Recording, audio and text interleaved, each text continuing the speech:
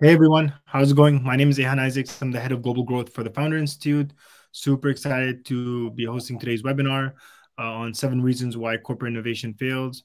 We have uh, Ingeborg with us. Uh, for those who don't know, she's our co-director for FI Switzerland, and she also has a very extensive background. I'll let her self-introduce herself uh, in a shortly, uh, but she comes from a, the corporate innovation world and is very well experienced. And I'm really, really happy, you know, that she's taking the time out uh, to give us our presentation today.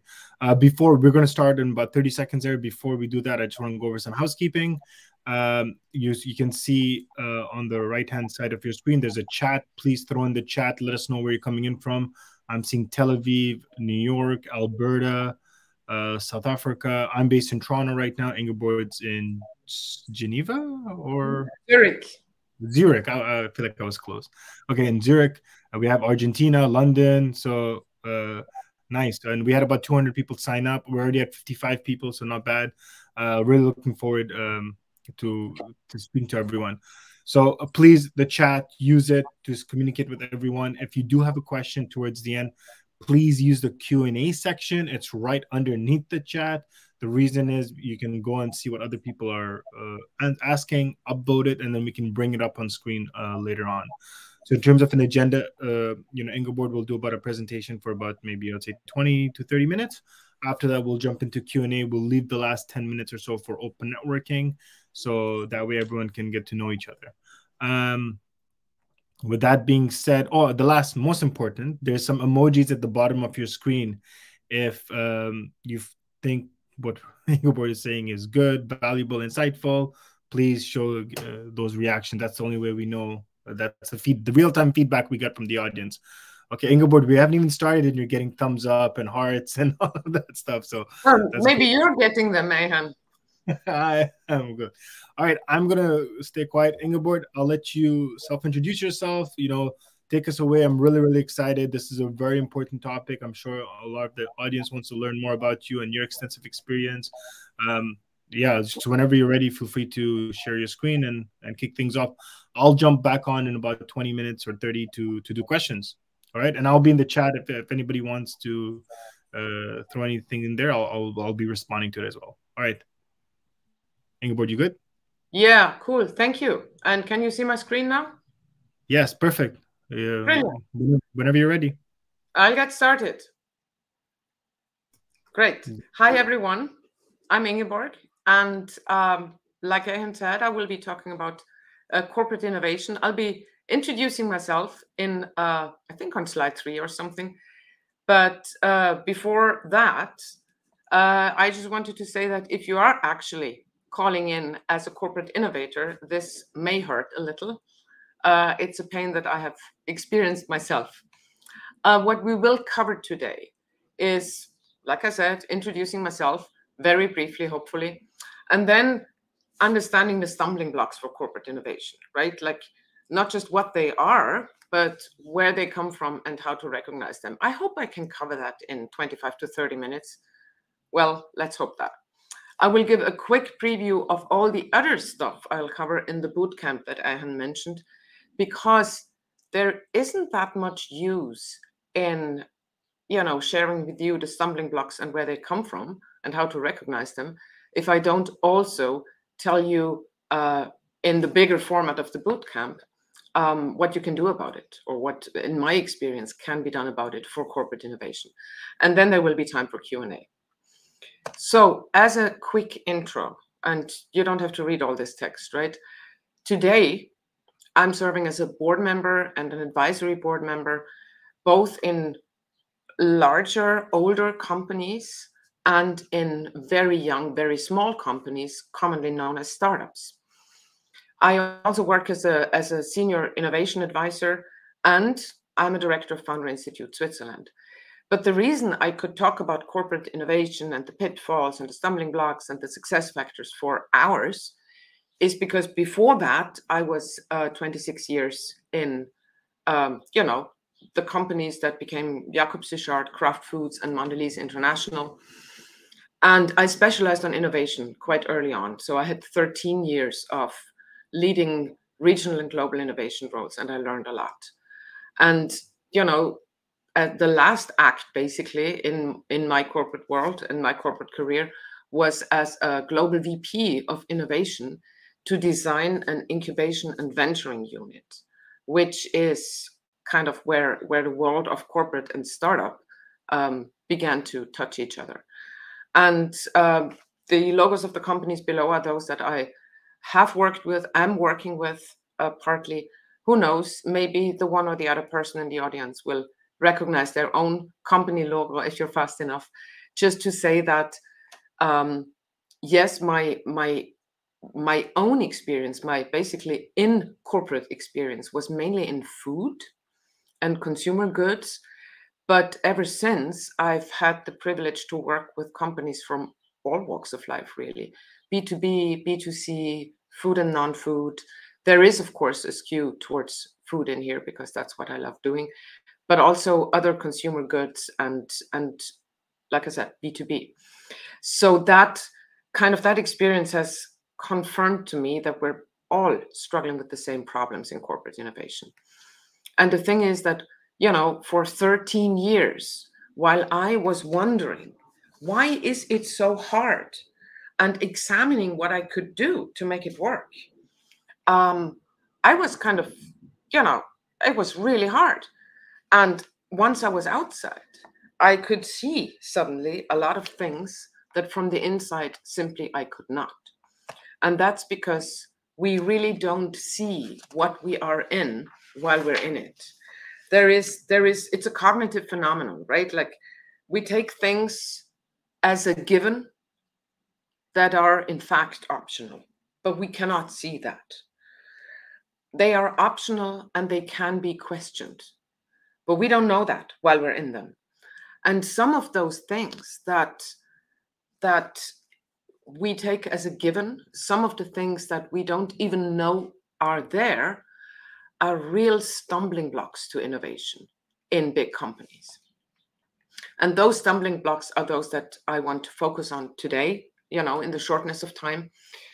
Um, you could say there are probably 10, but I found these to be the most common, the most common seven stumbling blocks that we're not asking the right questions, I'll I'll expand on all of these, of course. Um, and maybe I should go right into it, but just very briefly, we know too much. We find it very hard to let go. We're always on the lookout for fewer, bigger, better innovations. Um, we allow our core operations to kill off our innovations, and I'll tell you how and why. We automatically think of innovation as something additional especially when you're in the in the space of physical products if it's tech sometimes that's different but i i see it happen a lot. And we use the wrong set of kpis which uh, is quite a serious one. So let's let's dive right into it into those stumbling blocks. We're not asking the right questions. So you know i i i often get asked to help companies with innovation. And my first question to them is why do you innovate? Why do you want to innovate? And basically, if innovation is the answer, what was the question? And it's as unlikely as it sounds, these are the answers I get.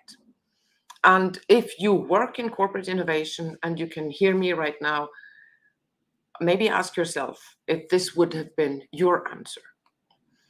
So answers I hear a lot. We innovate, we invest in innovation to accelerate growth, right? Or to drive gross margin accretion. Or we need to remain competitive in a dynamic market. Or even more precise, we need 20% of our growth to come from innovation so we can achieve our plan.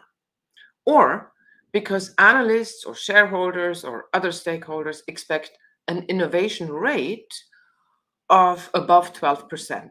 Fill in your number, right? Mine was 12. Or we want to innovate because it's good for corporate culture and employer attractiveness. Or because the world is changing, is changing, and we need to remain on top of it. These are all true. Most of them are probably true. but you know, just because it's true, that does not make it a good innovation strategy. And if you don't know why you're innovating in the first place, what what question you're trying to answer, that's not a great starting point and a real stumbling block in all phases of innovation. So, you know, better would be answers like we invest in innovation because our core business will shrink in the long run or because you know the tech development is shifting our route to market or ai will eliminate the need for our services or because our current portfolio no longer serves the needs of a new generation or because the supply or the supply chain of key ingredients or components is problematic or collapsing or because our business endangers the health and safety of people or the future of our planet, which I hope it doesn't. But that might be actually a viable question that innovation needs to answer. Or because there will not be sufficient talent and workforce in the near future, so we can't continue the way we are doing today. You know, the big difference between the first page and this page is that all of the reasons to innovate on the first page were internally focused, and all of the reasons here are externally focused. So that, that makes them actual problems that somebody cares about, because nobody cares about whether your business will achieve its growth goals. Only you, only you care about that, right? But you're if you're in business, it means that you want somebody to pay. And that means that you have to solve somebody else's problem, not your own. So, successful innovation does require a razor sharp problem statement. And if you work in an innovation team, in a company innovation team, you know, the discipline of sharp problem statements can be learned, it can be taught. And I always advise innovation teams to not start working without a razor sharp problem statement. They need a clear brief. Otherwise, you know, it will fail. The second stumbling block is that we know too much. We are like this lovely elephant, like huge, you know, a huge corporation, probably a nice corporation. Elephants are nice. But elephants also have very, very large memories, long memories, right? and all of those things that we know that will they will stop us from successfully innovating that didn't work last time of course has to be everybody's favorite right? The lo- the more experience you have the more you know that ah that won't work. But you know the user is not willing to pay the premium. For how many decades have we heard that about environmental friendly innovation or more sustainable innovation? Or no provider in this space is profitable. That's what you constantly hear about, for example, food delivery services, which basically means we shouldn't do it because no provider in this space is profitable, right? It's just a killer statement.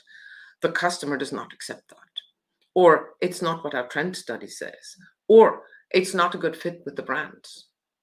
Or there are insurmountable technical hurdles. Has to be one of my favorites, the technical hurdles, because that landscape is shifting all the time. I remember the discussion about see through packaging. Like, people want to see what they're buying, so they want see through packaging. But that is an insurmountable technical hurdle because if the human eye can go through, light can go through. So, light could damage the product. So, we can't do it. People want it, but we can't do it. And then what happened? Kind Bar did it and the light did not damage the kind bar. So these things are all true, all the things you know until somebody just goes and does it. So we need to unlearn what we think we know. The things that we have learned are only valid until somebody goes and proves them wrong. And that should be us if we work in corporate innovation, not somebody else, right? Stumbling block three is that we just find it so hard to let go. Um, this pick, you know, I use this a lot. You know the fable of the lion and the mouse, right? So um, um, lion catches mouse. Mouse says, "Oh, please, please let me go. I'll do you a favor next time." And the lion says, Yeah, like you can do me a favor, right? And uh, lion falls into trap, and mouse comes and kind of chews his whatever stuff off that keeps him trapped. So the little mouse can do something that the big lion cannot. And that's really uh, my whole point here. Um, different companies, different people, different entities are good at different things. And we find that so hard to accept, and it becomes a stumbling block because collaboration is often more effective than competition. And getting help, the ability to go get help, is an art. And it's a, a very important survival skill. It will get you to the finish line a lot faster than if you think you have to learn everything yourself. We are obsessed with stuff like what are others better at? Why does that have to be a problem? Do things only ever turn out well if we do them ourselves? We seem to believe that, right? Because whenever the world around us changes and new skills are required to be successful in that changing world, um, our instinctive reaction, our default reaction is, oh, we need to get better at this. You know, we need to get better at this. Let's make this our signature capability of the future. Like Agile was one of those. But it's so much easier and so much faster and so much more successful to instead find a mouse and not learn how to chew through your own trap straps or whatever they are called.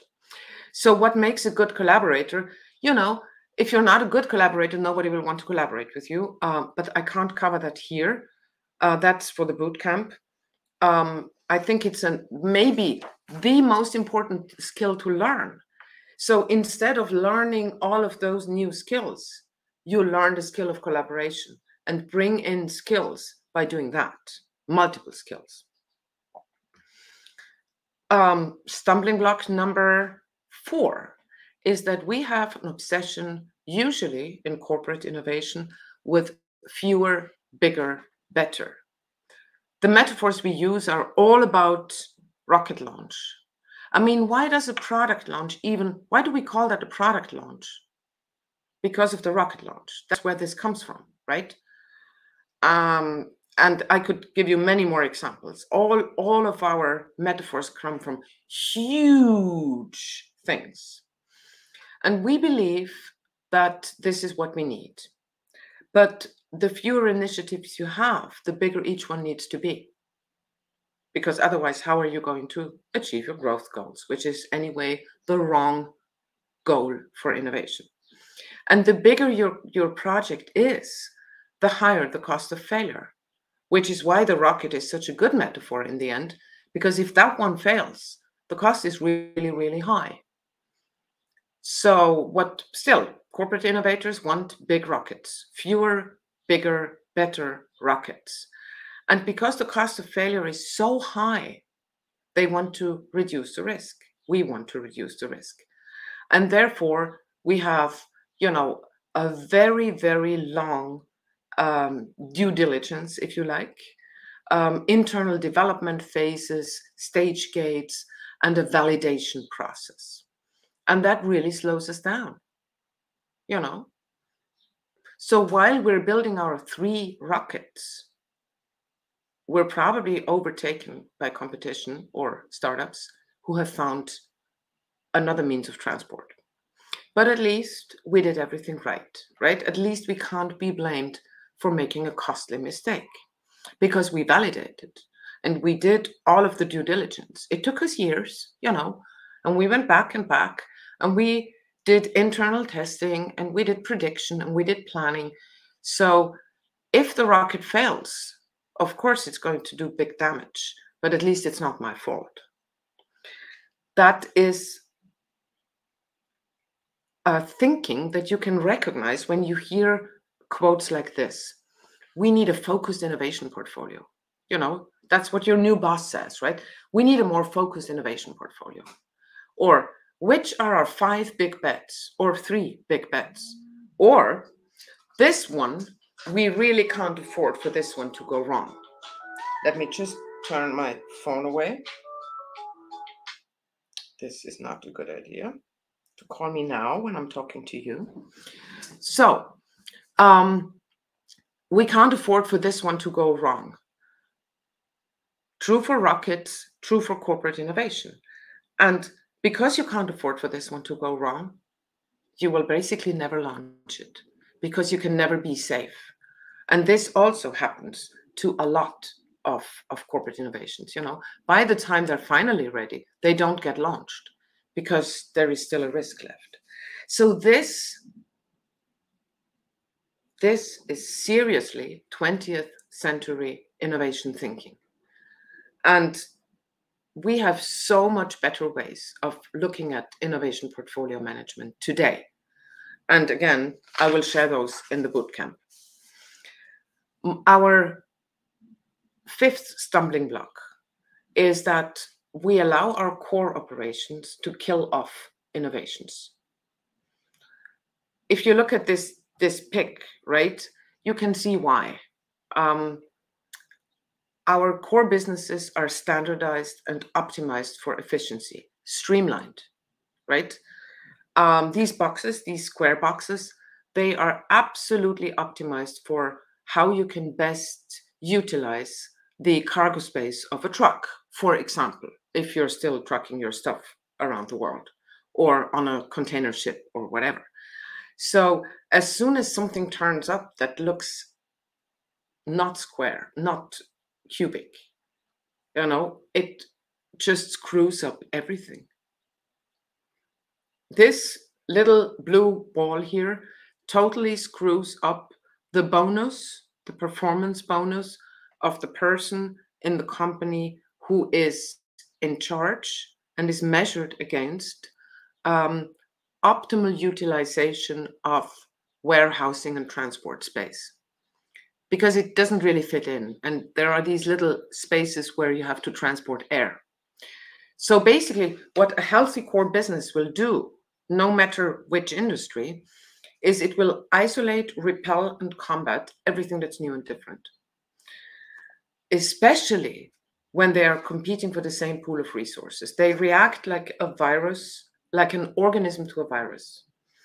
And competing for the same pool of resources that's almost inevitable. It's inevitable unless you keep innovation completely apart from your core business or you ring fence resources. But, you know, the pool of resources extends way beyond money. It's shelf space or online e-commerce shelf space. It's the wallet of, you know, people who will have to pay for, for your new innovation. But it's also the promotion budget and the sales force attention, and so on and so on and so on. So the way we do innovations as something, you know, it's supposed to be different, but you bring it in touch with the core business, and the core business will fight back. In normally, it does that very successfully, and the problem is one of the biggest problems is that you only see this when it is too late when your, when your innovation is already in market and your core business is showing those reactions. I can explain that more. I know it sounds slightly mysterious, but it really isn't. It's it's very very straightforward. Um, what you you can recognize this when you hear sentences like, "Ah, there's such a distraction to my teams," or "What's the ROI on this one?" What's the ROI on this one means I'm sure it's lower than the ROI of my core operations. And what percent of the spending that we put behind the innovation is actually paying back into my brand, my existing brand? So those those types of questions, that type of thinking, which you will hear a lot, is a sure sign that this stumbling block is, is looming very large on the path of your innovation. Stumbling block number six we think of innovation always as something additional. Uh, let me tell you, I've worked with so many teams, right? And they automatically gravitate towards innovation as an addition to the existing portfolio. It doesn't matter what the existing portfolio is, right? Uh, it could be consumer goods, or it could be tech, or it could be cars. Innovation is an addition to the current portfolio. Because, and this is the logic, right? Um, if we need to deliver growth, you can't take something away or just change something. You need to add something. We know that's not true. Of course, you can also achieve growth by making something existing better. But that's not the way we think. We think something new because also inventing something new is so much more fun. It's so much more fun to make this little crown for the for the chicklet than to teach the chicklet on the on the left better manners, right? That will also not be visible. So also as soon as you as you regard innovation as making something existing better instead of adding something new, um, the existing chick will protest and say, I'm already good enough. You don't have to teach me manners. You see what I mean? Like improving something existing means admitting that it's not perfect. And we don't like to admit that the existing portfolio is not perfect, especially those people who are in charge of it. And those are not the same people who want to innovate or who need to innovate, who are, you know, in charge of innovating. So we do new things. And the more we add, the more fragmented our portfolio becomes, and the smaller the incremental growth, so that people that can then go and ask, what is the, how much of your innovation revenue is actually incremental? Well, not much, because, you know, I have always have to do something additional, and the margins just get smaller and smaller. And while I'm pushing my 15th little fragment of addition to the portfolio into the same virtual or real shelf, that always goes at the expense of the current portfolio. Because again, it's the same pool of resources. So you see how all of these stumbling blocks are connected. Because we need to, because we think we have to do something additional, the core business has to fight back and it will. You can, I mean, that chick is definitely going to hack the other one's crown off. Innovation does not have to be something additional. It doesn't even have to be a new thing. It could be a new process. It could be a new way of doing existing things. It could be a way of bringing existing things to more new people. It could be doing something different with existing things. But that's not how we think about it, right? And we should. We should. I always recommend the uh, 10 types of innovation, which can be used across industries, um, invented by Doblin. Doblin's 10 types of innovation. Difficult to understand um, based on the on the uh, material that you can get free in the public space, but it's really worth understanding. And stumbling block number seven. And this is a really weird one. We used the wrong set of KPIs, right? Um, even when I was when I was, you know, talking about this boot camp, we were talking about how should we how should we call it? How should we call the boot camp about why corporate innovation fails and how it could actually be made to work? The uh, I think the original title was how to accelerate growth with innovation. And I said, no, we can't use that title because this, you know, thought that innovation is here to accelerate growth, while it's not wrong that innovation will accelerate growth, it's the wrong KPI to start off with.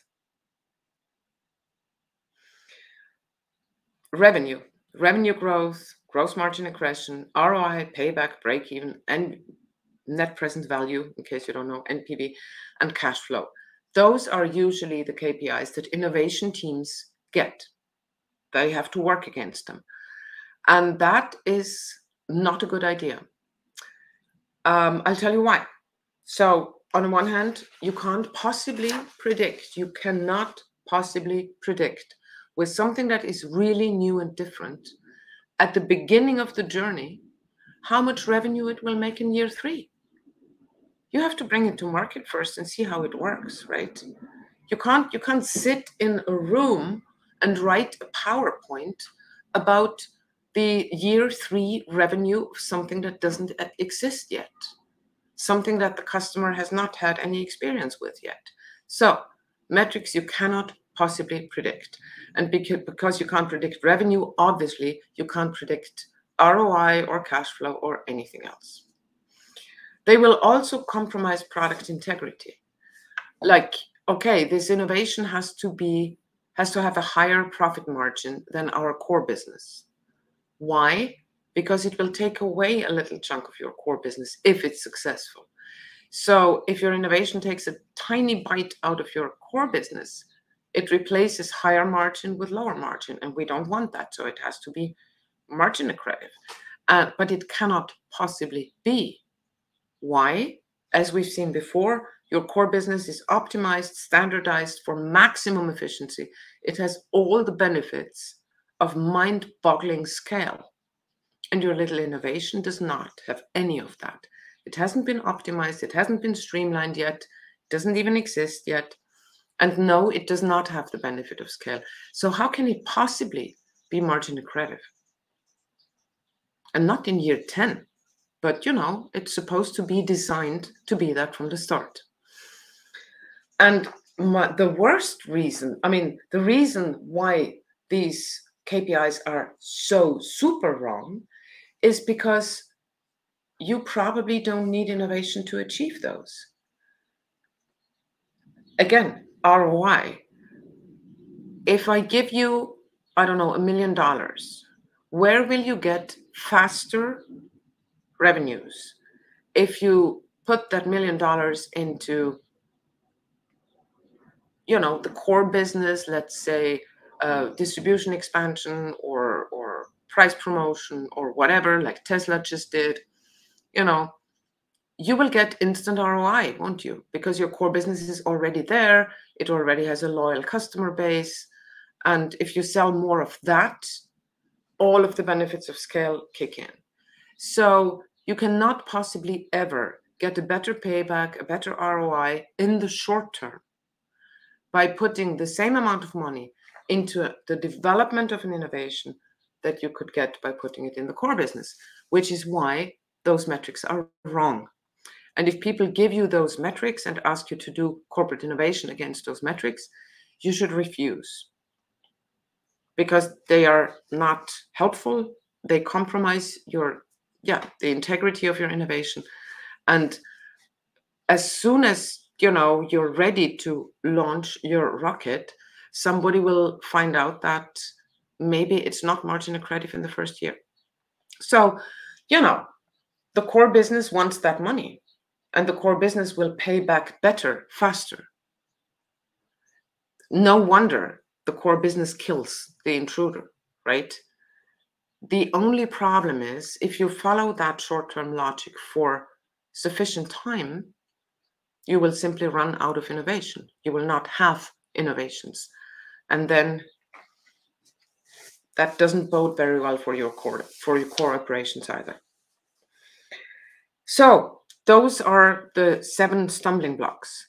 And you know, I had to kind of I couldn't dig too deep into them each of them is connected to the way that big companies operate.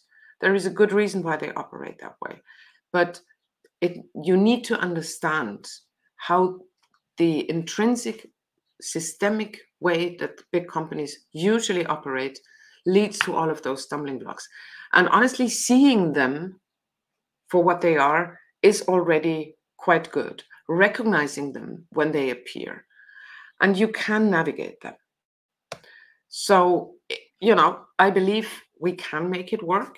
It's not easy, but corporate innovation can work. We see that all the time. A deep understanding of those at least seven stumbling blocks, plus what I would suggest are about five mind shifts, five key mind shifts that you need to make, and a number of design principles when I say design principle, it's, mainly about how to organize for innovation, right? um, org design, but also um, the methodologies that you use and so on. Those would be design principles. In my experience, these five mind shifts and seven design principles, why the list may not be totally complete, can get you a very, very long way. And I will dig into more of this in the boot camp. Like I said, uh, I'll do a recap of those seven stumbling blo- blocks for corporate innovation, the ones that we just covered, and um, where they come from. Um, I will dig into the five mind shifts and the seven design principles. But for today, I think I've already uh, talked longer than Ahan said I should. Yeah, almost exactly 30 minutes. So um, there will be time for questions and answers. If you have questions in the chat, I have not seen them so far because uh, obviously all I see is my screen and the presentation I do. But it is now Q&A time and I will stop screen sharing and go back to AirMeet. Yeah, perfect. Thanks so much, Ingeborg. This has been super helpful. Um, we have some questions coming in, so we'll definitely use that as an opportunity uh, to bring it up. But I guess in the meantime, before we just do that, couple of housekeeping. So I sent out the link to everyone. If you guys want to learn more about Ingeborg's bootcamp, I threw out the link in there. Uh, you know, do check it out and uh, join the waitlist. Um, but and also, if you found Ingeborg's presentation valuable or helpful, please uh, express it in the emojis. Uh, all right, Ingeborg, thank you so much. That was super helpful. I'm going to start doing questions uh, and I'm going to bring it up on stage so you should be able to see it. Uh, Nitin's asking, what are the constraints on your problem statement that can detect uh, and correct what you have so far? It's phrased a little bit weirdly, but yeah, I, I don't really understand the question. I'm sorry yeah maybe hey let's try this. I'm not try this. Hey nitin are you still i'm gonna invite you to the stage and see if, if it works. Um but i think constraints on my problem statement. Yeah. Hey nitin you there? Yeah i'm i'm i'm, I'm here. Can you hear me? Yeah, yeah we can. So do you want to clarify your question please? Oh uh, yes, it might it might have been phrased a little weird. I meant like if, if you have a problem statement that you crafted, how do you, how do you make it better? Like what are you looking for to say that you've nailed the problem statement? Mm. well uh, it has to be crystal clear uh, to everyone that you share it with. Like throw it around right? Um, it has to be for innovation right? You mean you mean for innovation? Yeah for innovation. Yeah for innovation exactly. Um, it, it has to be super clear and you know what? It has to be created in the real world. Because what I see people do, and I include startups here, um, they make up problem statements because they would love that problem to exist so they can apply their solution to it. So, uh, a really good problem statement has to be tested in the real world couple of other things. It has to be single minded. That's why I mean by razor sharp, right? Not blah, blah, blah, blah, blah with, um, you know, loads of words. It should be razor sharp and, and, and focused. And it should engage with those people who own the problem. Does that make sense so far? Uh, it does, yeah. Right. Awesome. Thanks, Nitin. This is the first time we've tried this feature, and I think it worked out pretty cool. Uh, all right, let me. We got some more questions coming up. So here, let's do this. Yeah, I saw a couple. Yeah. So yeah, folks, please use the Q and A button because it allows me to this do this feature where I can throw the question up and then I can bring you up if I don't understand it and I'm going after the ones that are the most popular. So if you find another question that's oh, good, just upvote it. So Bongani from Joburg, South Africa, is asking, how does a risk-averse culture within a company impact innovation? What steps can businesses take to foster a culture that embraces risk-taking and experimentation? This is a big one. big question. Like yeah, it's a great oh, question. No, no, no, no. It's it's a very, very good one. So listen, we like to bash big companies and corporations, right, for being risk averse. But don't forget, they have a lot to lose. It's easy to take risk when you have nothing to lose. They have a hundred years of uh, history. They have tens of thousands of jobs that they have created, and they have billions of revenue, right? So obviously, and and since especially especially if they are listed companies, not privately owned companies, right? They are actually working with other people's money. So wouldn't you rather for them to be slightly risk averse? So this, I've, in fact, this is one of the biggest misunderstandings about risk and failure that I would love to clarify right here and now. It's not about loving to take risk. I don't think that big corporates should learn to love taking big risks. There is a myth, right, that says that yeah, we need we need to become more risk friendly and less risk averse and so on and so on. But think of the rocket.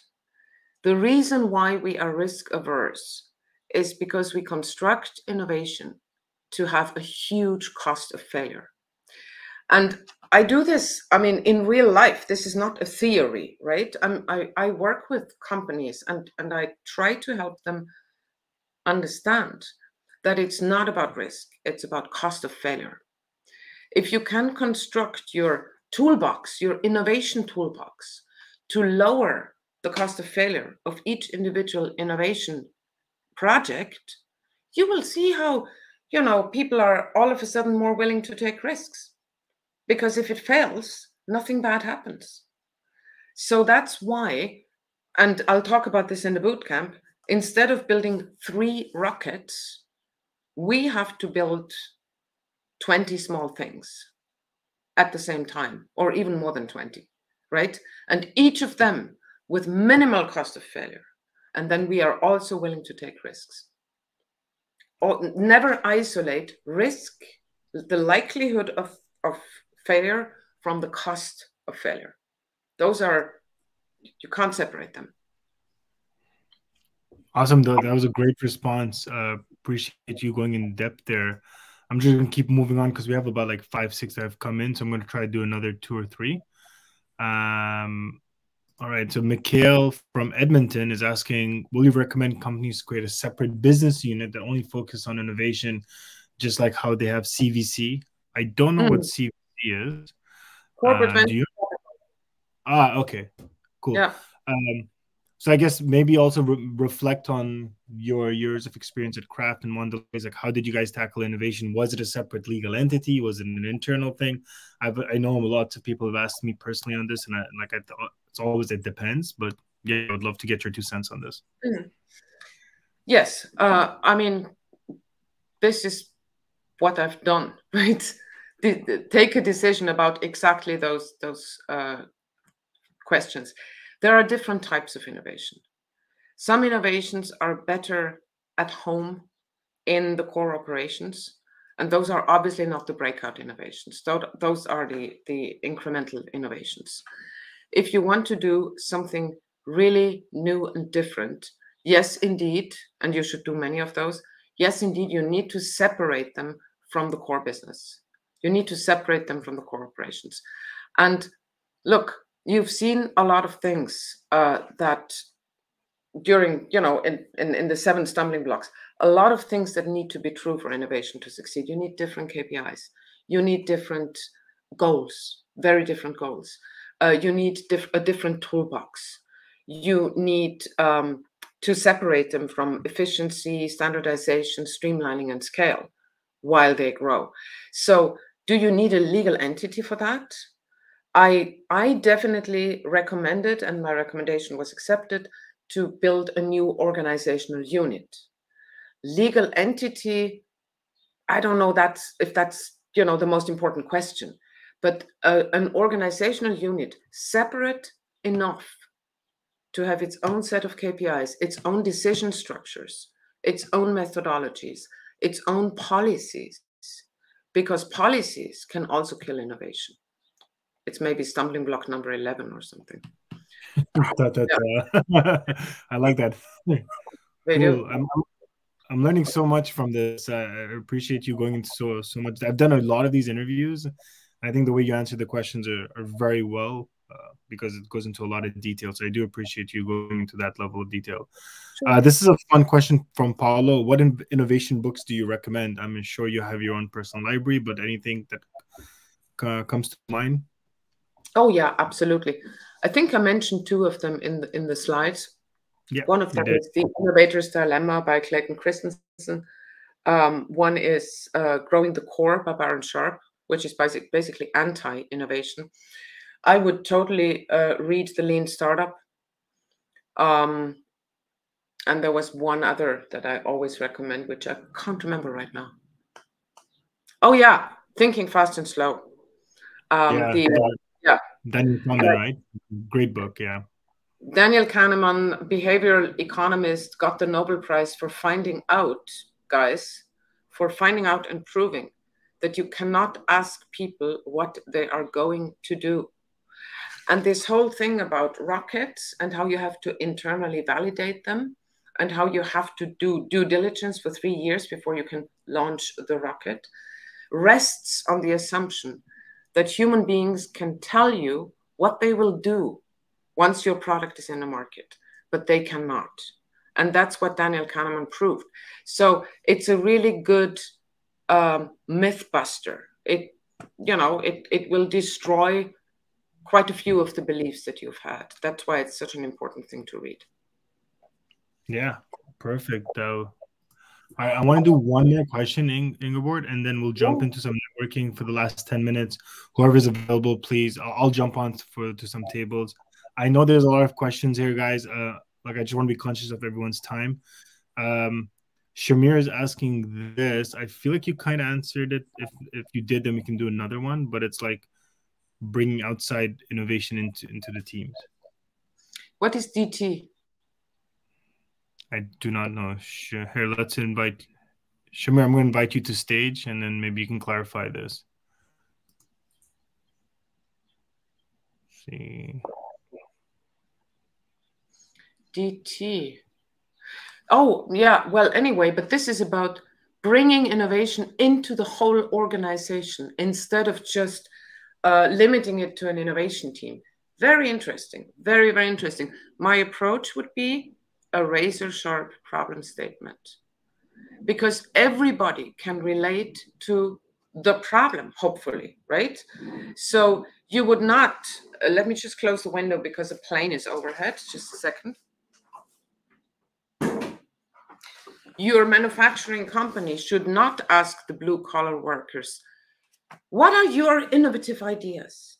Like, share your innovation ideas with us. Like that crowdsourcing ideas stuff that some companies do just to feel better about themselves, really, or hope that employees feel better. That's not great. But what I've seen play out beautifully is if you if you send a problem statement into the organization like what are your ideas to make x and y more sustainable what are your ideas to save warehousing space uh, you know any any ideas on how we can make our customer response time um, 50% faster and you will see how stuff pours in clear problem statements will get you more results and then, yes, of course, the best ones you'll have to implement. You can't do this as a fig leaf. You can't do this as a culture thing. If you ask them to come up with ideas, you have to want them also. That's awesome. I feel like a lot of things you say should be like posters in people's offices and just you, with the firm. Uh, uh, it should be absolutely yes. Good idea. Yeah, this is uh, this would, yeah. So you're getting a lot of thumbs up. I think we should sell posters at Ingeborg uh, Alvern Growth, you can you you you can uh, be the the face of it. Cool. I think guys, this is a good time to end things. Uh, Ingeborg, thank you so much. I think this has been very educational, helpful. I'm going to share the link to everyone for the boot camp uh, again. You know, if you if you've enjoyed this, please consider joining the waitlist. We're going to be releasing more information on that shortly. Uh, but you know, the whole idea is to bring more of this content and more more things like Ingeborg's talking about for individuals like you. Uh, Ingeborg, any final words for uh, anyone before we break out for networking? Just so you know, we had close to we have 73 people now live, but we had close to let me just double check the numbers. We had we had 235 people sign up, out of which 128 people joined at one point. So this wow. is a very high attendance rate. So uh, a lot of people came to hear you speak. So any final words for anyone in the audience that's in corporate innovation, considering corporate innovation, or, or, or whichever? Yeah. yeah don't listen to people who say they have the solution and want you to pay for it because there isn't one solution. Um, there's a couple of things you have to do, and it depends a bit on what your company is and and what industry you're in. So there is there is not just that silver bullet. It's hard work. Perfect. I love it. I'm I'm seeing some questions there on the recording yes, the recording will be available. We'll try to get out in the next 24, but we usually say 48 hours, and um, we, will we'll send it out to everyone so they can uh, review it. Um, because I'm sure, like Ingeborg dropped a lot of great knowledge, so you guys can constantly review it as well.